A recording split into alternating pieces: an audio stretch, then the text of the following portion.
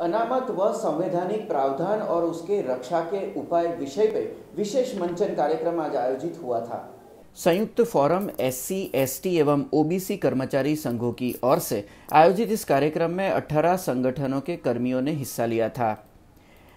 अनामत एवं संवैधानिक प्रावधान के अर्थघटन एवं न्यायिक प्रक्रिया में वक्ताओं ने अपने अभिप्राय दिए थे। इस कार्यक्रम में वक्ता के तौर पे निवृत्त जिला न्यायाधीश कनुभाई व्यास एवं फैकल्टी ऑफ़ सोशल वर्क के डीन डॉक्टर जगदीश सोलंकी खास उपस्थित रहे थे।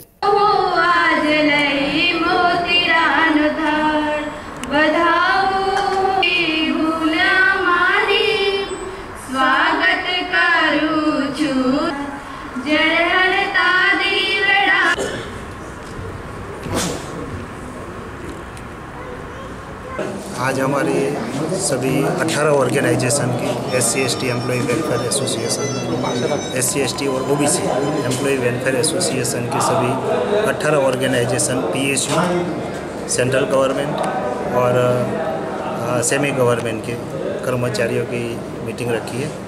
और उसमें सभा का विषय है अनामत व संवैधानिक प्रावधान और उसके रक्षा के उपाय।